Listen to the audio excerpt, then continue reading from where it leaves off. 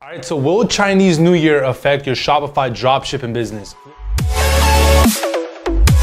Those of you guys that don't know me, my name is Juan Valdez, and if you haven't already, make sure you hit that subscribe button, join the VFam. The VFam is a community and a movement of people that are striving to do a lot more than what society is out for us to do. So to kind of jump right into it, there's been a lot of back and forth, a lot of different people's takes on, you know, the Chinese New Year and kind of how it will affect, you know, obviously your Shopify dropshipping business. The reason why, obviously, it's a something to be aware of is because us dropshippers get all of our products from AliExpress. All the suppliers on AliExpress are obviously, you know, in China, and obviously they're going to be taking a break around the Chinese uh, Chinese holiday, but it isn't something that you know it's like super crazy and you can't work around. So you know, I kind of I pulled up this article actually from Oberlo.com. For those of you guys that don't know Oberlo.com or the Oberlo app, uh, they're actually it's actually one of the best apps for Shopify dropshipping. It makes, really makes it a lot easier for you to get your products from AliExpress and put them onto your Shopify store, right? The import process makes it a lot easier than you having to do it, you know, like the old school method. So if you guys aren't using Oberlo, make sure you take advantage of it. So I got this article right from their website. You guys can actually look it up yourselves as well. It's actually right on there. And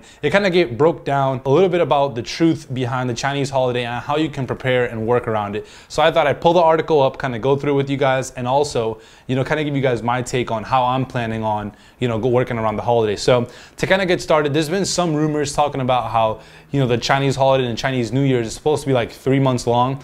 That's actually not accurate. Uh, based on you know Oberlo, they came in contact with the suppliers, and what's actually going on is you know Chinese holiday and Chinese New Year is not three months long.